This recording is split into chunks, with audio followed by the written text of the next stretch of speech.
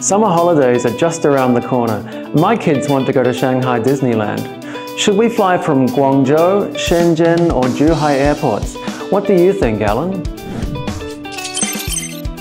Shenzhen Airport of course. For the convenience of Zhongshan residents going to Shenzhen Airport. Shenzhen Bus Group and Shenzhen Airport Group joined hands to launch an airport express route between Shenzhen Baoan International Airport and the Zhongshan Terminal. After the opening of the Shenzhen link, there are 72 scheduled departures per day, with frequencies ranging from 30 to 40 minutes. The traveling time between Zhongshan and Shenzhen will be cut to less than 50 minutes from the current 120. And a one-hour traffic circle will be developed in the Greater Bay Area. It will be a shorter drive to Shenzhen, faster and more comfortable, compared to say, Guangzhou or Zhuhai. Great.